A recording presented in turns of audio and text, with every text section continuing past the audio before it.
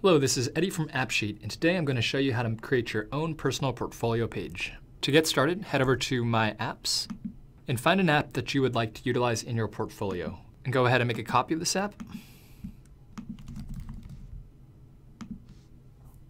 And from here, the first thing we'll want to do is anonymize our data. So go ahead and head over to your data. This is going to be a copied table, and we're going to view source. In this case, all the data is safe for public consumption, but if you had private data, you'd want to replace that with generic data. One thing you can do is head over to solutions.appsheet.com backslash sample hyphen data hyphen sets, and you can copy a number of data sets for common use cases. So once you finish anonymizing your data, head over to File, Publish to the Web, and go ahead and publish. This ensures that our data can later be read on our sample app page.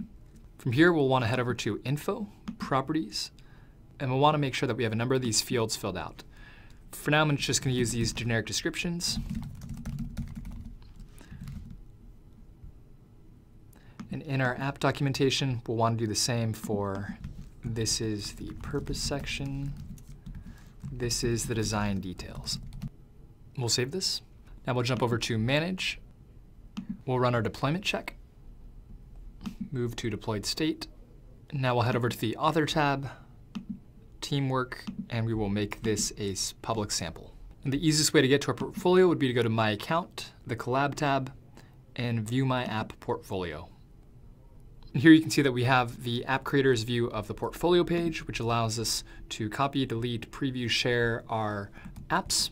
And we can also see this from the perspective of an outside visitor, in which case they can simply see the app in action.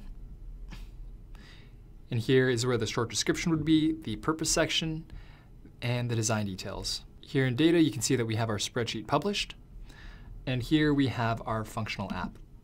One thing to keep in mind is that because this is a sample, you will not actually be able to use active forms on here because it's meant to be generic for each and every person who visits. And there you have it. That is how you create a personal portfolio page and add a sample app into it.